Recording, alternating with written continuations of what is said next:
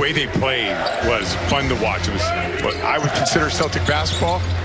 Hopefully they can continue it tonight. Celtics again in the white uniforms. I'll never get over that anymore. Too old school to. Oh, They drive it, they kick it, they continue to play with an incredible amount of pace. So Celtics will be challenged today on the defensive end if Oklahoma City is making shots. little backdoor cut there. Oh, I'm too far underneath, out of bounds. It's going to be off Brown. Tatum leaves it to Smart. He leaves it for Brown. Rebound control. Williams. Tatum from the corner. Misses the three. I mean, hey, Big Perk got a lot of re Well, probably took a while to get 10 points. That's Mark Daigneault.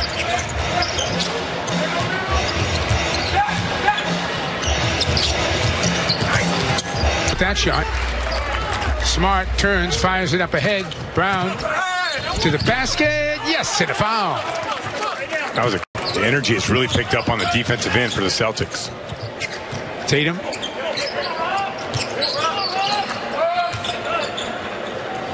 Tatum takes a deep three.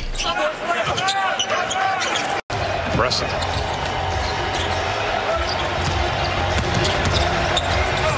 Tatum takes it right to the rack.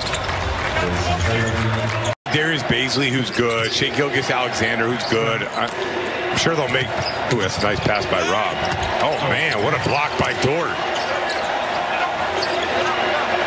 So I mean, they have uh, they got they have some guys, and, and they're not just going to draft 36 players over the next seven years.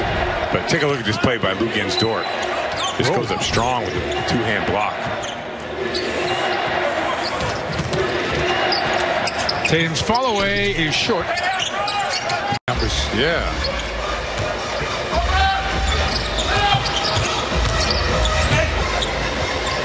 Smart.